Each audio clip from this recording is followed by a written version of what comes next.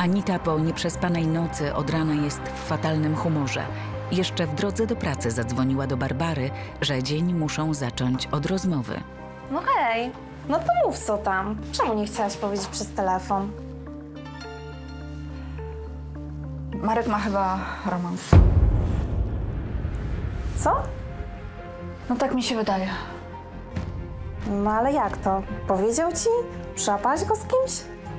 Nie, ale kiedy rano wyszedł z psem na spacer, przeszukałam jego rzeczy. I? No i w... No i w bocznej kieszeni jego walizki znalazłam kolejny telefon. No ale może służbowy. Nie, nie służbowy. Służbowy to jest zupełnie inny model. Przejrzałaś go? Nie mogłam, bo był wyłączony. No to faktycznie podejrzane. No ale może to jakiś stary grat, który zawieruszy się w jego rzeczach. Serio? Naprawdę w to wierzysz? No nie. No to co zamierzasz? Skonfrontujesz się z nim? No przecież wszystkiego się wyprze. No to jaki masz plan?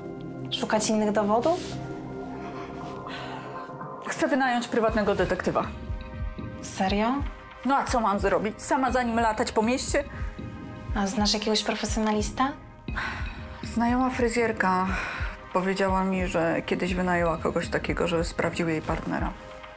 Zadzwoń do niej. A jeśli potrzebujesz pomocy, dawaj znać. Ja też mogę za nim pobiegać po mieście. Jeśli cię skrzywdzi, skopię mu tyłek. Chodź, kochana.